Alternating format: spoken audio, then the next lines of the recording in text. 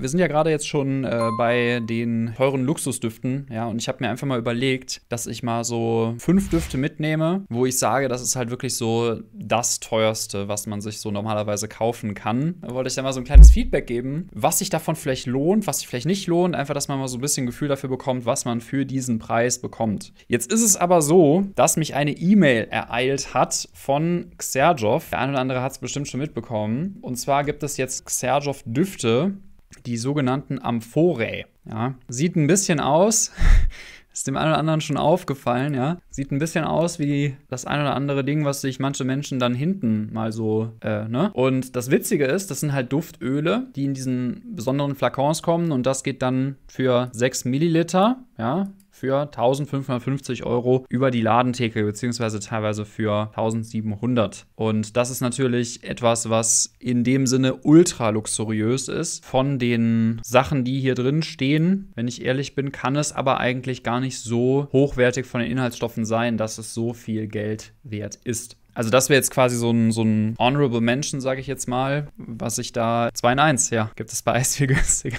Richtig. Nee, ich bekomme die leider nicht zum Testen geschenkt. Ich habe mal mit dem Herbert gesprochen tatsächlich, ob er den äh, Sergio nicht gewarnt hat, dass das ein bisschen sexuelle Note haben könnte. Weil ich tatsächlich, ich habe das auf, auf Instagram gepostet und äh, witzigerweise äh, haben mich direkt irgendwie 40, 50 Leute angeschrieben, meinten so, das sieht aus wie ein Buttplug. Aber Herbert meinte, das wäre halt für den arabischen Markt gemacht, primär. Und ja, deshalb wäre das eben wäre das eben so, wie es ist. Ist halt ultra limitiert und ich glaube, du zahlst den Preis einfach hauptsächlich dafür, dass es halt limitiert ist und äh, dass du eben dann dieses besondere Duftöl einfach dann zu Hause äh, rumstehen hast, ja. Aber gut, äh, das wäre auf jeden Fall sowas, äh, wo man sehr, sehr viel Geld lassen kann.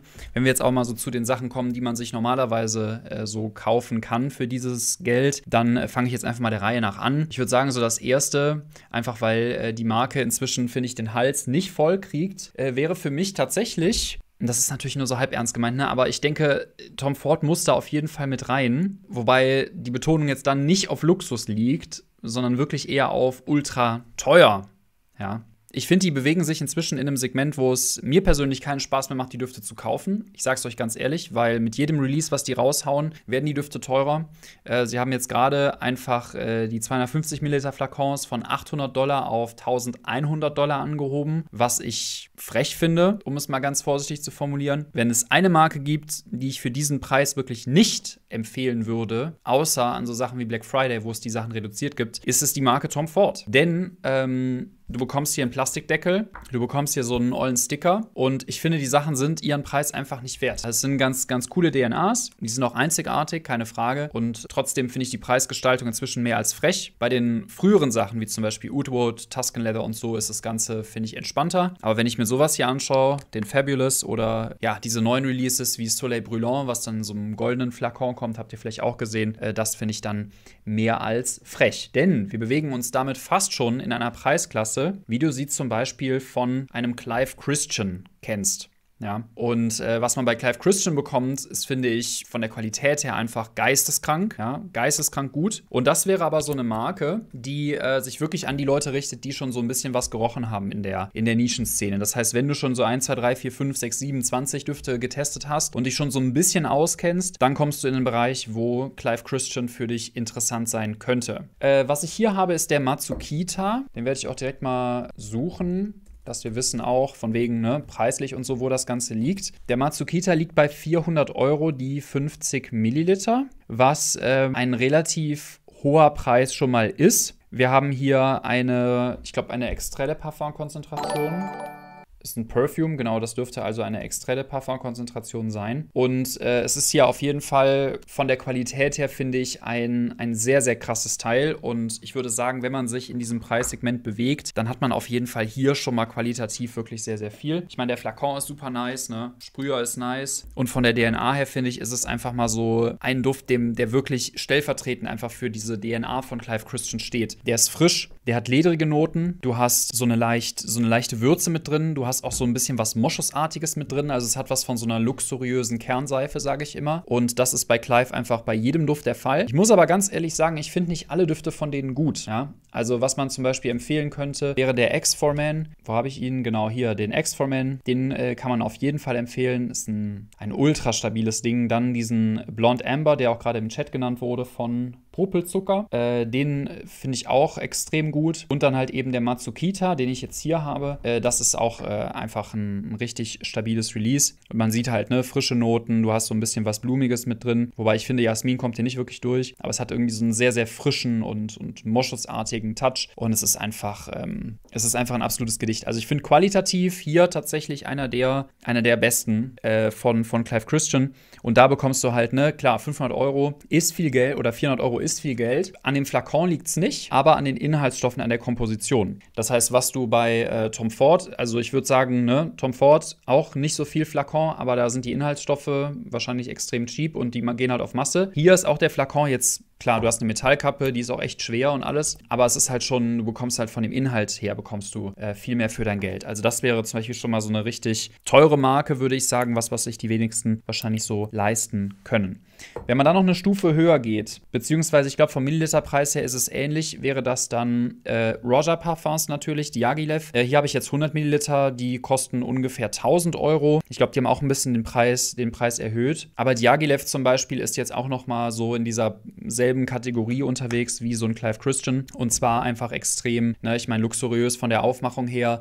Äh, der kommt auch mit so einem, der sitzt dann halt in so einem, in so einem Samtkissen drin, wenn der kommt. Ich muss mal gerade schauen, ob ich davon einen, ein Foto finde, ne, ähm, Diaghilev Roger, das ist jetzt Musk Milano Russian Tea, aber hier siehst du halt, ne, das steht dann halt auf so einem, auf so einem Samtkissen drauf und so, also von der Aufmachung her schon, schon sehr, sehr krass und, und heftig. Und äh, du hast einfach eine goldene Schrift auf der Seite, vorne so eine Plakette drauf, also es ist schon sehr, sehr luxuriös. Und der Duft selber ist auch, auch wieder Leder, ne, also sehr, sehr äh, schönes Leder im Hintergrund, äh, frische Noten, du hast äh, Moschus drin, ja, also natürlich nicht echten, aber halt so äh, das ist ein pudriger Duft und der hat einfach was, das ist so dieses, ne, Diaghilev ist ja ein, ein russischer Komponist und das hat so diese Oldschool-Eleganz einfach, äh, die du haben willst. Ist nicht für jedermann, würde ich sagen. Also wenn du eher so diesen, diesen mainstreamigeren Geschmack suchst, dann wäre das, glaube ich, eher Matsukita wäre eher was für dich. Wenn du eher so auf so Oldschool-Düfte stehst und auch mal äh, mit alten Düften äh, Kontakt gehabt hast, äh, Moschus magst, Leder magst, dann wäre Diaghilev eher was für dich. Gibt es jetzt auch in 50 ml, habe ich letztens gehört, äh, dann für entsprechend weniger, aber das wäre eben auch so dieselbe Preisklasse von diesen Ultra-Luxus-Nischendüften.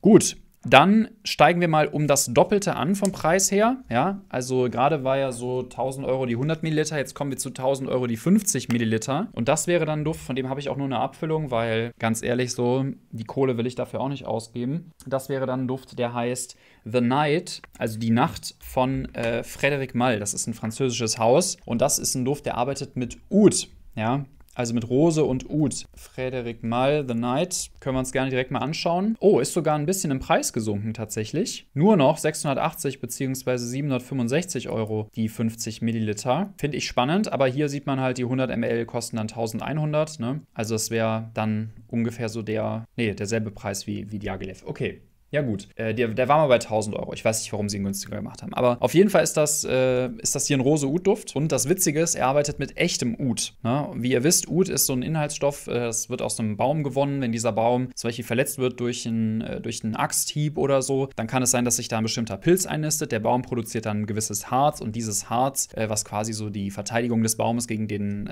gegen den Pilz ist, das ist eben Ud. Und das Spannende ist, Ud ist einfach extrem selten.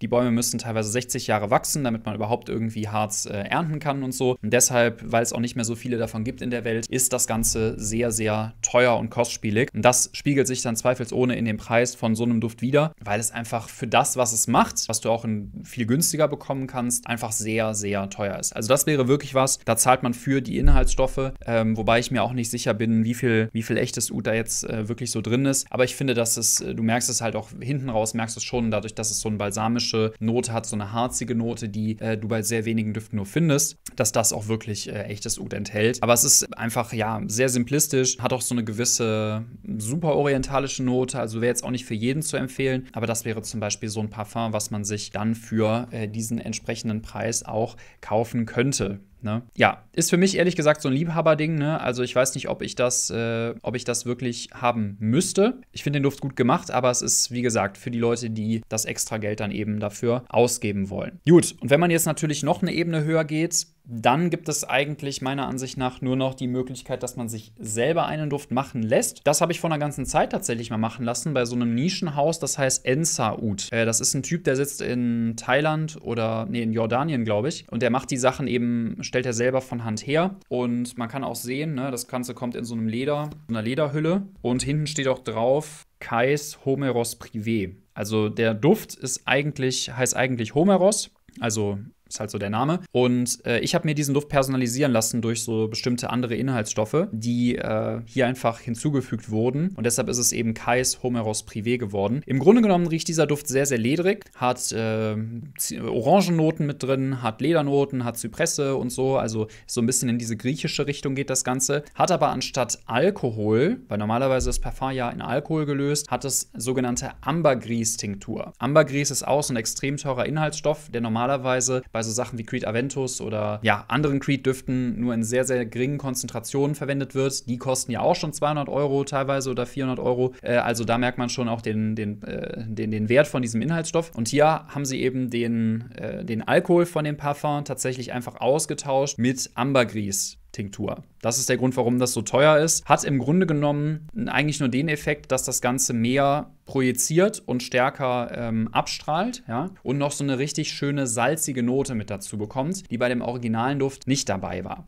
Auch hier ist Ud drin, auch hier ist Moschus drin, also es ist auf jeden Fall auch sonst schon kein günstiger Duft. Der kostet sonst, glaube ich, 700 äh, Euro und äh, diese Flasche hier kostet jetzt die 50 Milliliter 3000 Euro. Also habe ich damals bezahlt, äh, natürlich inklusive Zoll. Also Ursprungspreis wären, glaube ich, zweieinhalb oder so gewesen und dann mit Zollgebühr, Lieferung und sowas landet man bei 3000 Euro. Also das wäre dann so die ultimative Stufe des Luxus, wenn man jetzt nicht nur auf diese limitierte Variante äh, scharf ist, äh, wie zum Beispiel bei, bei, ähm, bei diesen Xerjoff-Plugs, äh, ja, sondern man möchte halt auch wirklich was Eigenes haben, dann ist schon das der Preis, den man hinlegen muss, um einen eigenen Duft zu bekommen. Und es gibt natürlich auch die Möglichkeit, sich hierzulande äh, mit einem Parfümeur einen eigenen Duft herstellen zu lassen. Und äh, da liegst du beim Einzelstück dann eben auch so bei 2.000, 3.000 Euro, äh, die 50 Milliliter. Kannst dir das aber natürlich auch jederzeit nachproduzieren lassen, dann wird es günstiger. Das heißt, wenn das jetzt irgendwann leer ist, kann ich das auch deutlich günstiger einfach nachproduzieren lassen. Ja, trotzdem sind die Plugs fünfmal so teuer. Das ist natürlich auf das Öl bezogen. Also bei den Plugs bekommst du bekommst du natürlich das reine Öl und nicht in Alkohol gelöst. Also ich glaube, dass sich das preislich schon so in einem ähnlichen Rahmen bewegt. Aber es ist natürlich an dieser Stelle völlig auf diese Limitierung bezogen, während es hier auch wirklich mit den, mit den Inhaltsstoffen zu tun hat, die da so drin sind. Jo, das ist also so der, der richtig teure, äh, der, der richtig teure Spaß, ja. Also wenn man mal ein Upgrade haben möchte zu den normalen Sachen, äh, kann man da auf jeden Fall mal schnuppern. Ich meine, viele von diesen Düften hier, ähm, Matsukita und äh, Roger Parfums und so, das gibt es halt auch in Parfümerien. Also, äh, wenn man das jetzt noch nicht getestet hat, man das mal testen möchte, kann man definitiv das auch mal äh, bei Bräuninger oder anderen großen Parfümerieketten das gerne mal testen. Und auch bei kleinen Nischenparfümerien natürlich. Ja, hier wird es schwierig. Ne? Das muss man wirklich, äh, das war auch ein Blindkauf. Also würde ich heute auch nicht mehr machen, aber ich wollte einfach früher mal wissen, wie das ist. Ja, das ist halt äh, das, was du für das Geld im Grunde genommen kriegst.